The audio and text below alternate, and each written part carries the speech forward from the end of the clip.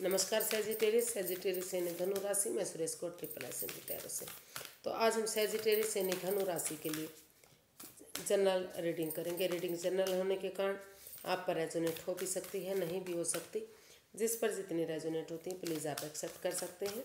Sunshine मूनसाइन या नाम राशि जिससे भी चाहें आप देख सकते हैं। सत्रह से चौबीस तक के लिए वीकली यानी साप्ताहिक रीडिंग होगी। संडे टू सैटरडे के लिए रीडिंग होगी।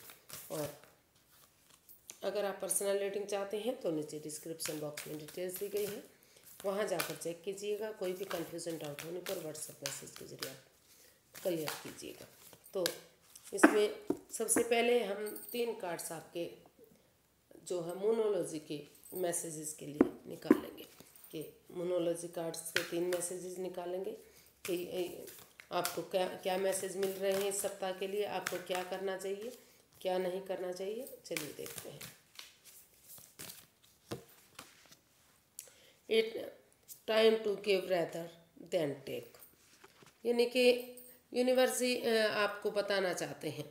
आपको मैसेज देना चाहते हैं कि आ, आ, लेने की बजाय आप लोगों को देना दे दीजिए।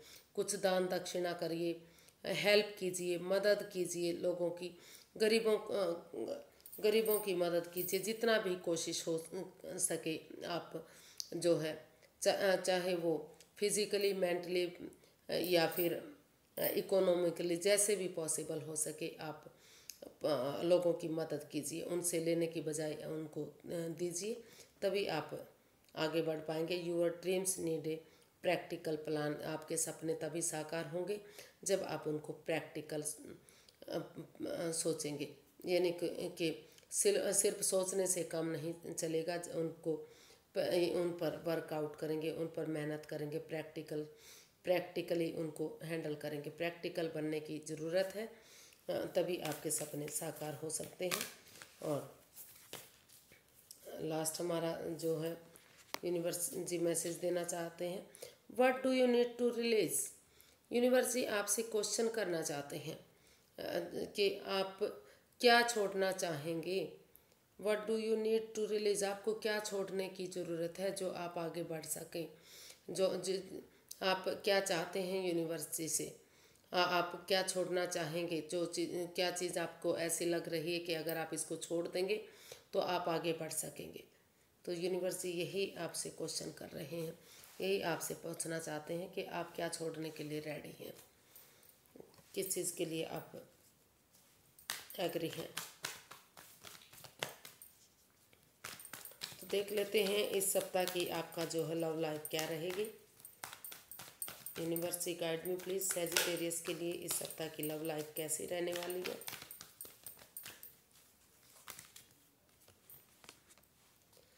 द हायरोफांट एंड डेथ जो भी चीज़ें आपको रुकावट दे रही है बॉटम ऑफ़ द डेक बता रहा है जो भी रुकावट चीज़ें दे रही हैं, उन चीज़ों को आपको ट्रांसफॉर्म करना पड़ेगा, बदलना पड़ेगा। वो आपके घर के मेंबर हो सकते हैं, कोई पड़ोसी, कोई रिश्तेदार, कोई दोस्त, कोई कलीग कोई कोई भी। लेकिन जब तक उस जगह को, उस सिचुएशन को या फिर उस जॉब बिज़नेस को या उन लोगों को, जो आपको बाधाएँ दे रहे हैं, आपके आपको आगे बढ़ने में परेशानी, तकलीफ़ दे रही हैं, तब तक आप अपने प्यार को हासिल नहीं कर पाएँगे। जब तक आप अपनी मंजिल को नहीं पाएँगे, जब आप, आपको लगेगा। कुछ चीज़ों को पाने के लिए, कुछ चीज़ों को आपको छोड़ना ही पड़ेगा, उनको ख़त्म करना पड़ेगा, तभी आप आगे बढ़ेंगे और आपको किसी सुपीरियर किसी एल्डर किसी गुरु या किसी नॉन पर्सन की मदद लेकर आगे बढ़ना है।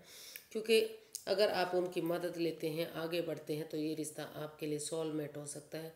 सोलमेट ऑफ़ काइंड हो सकता है।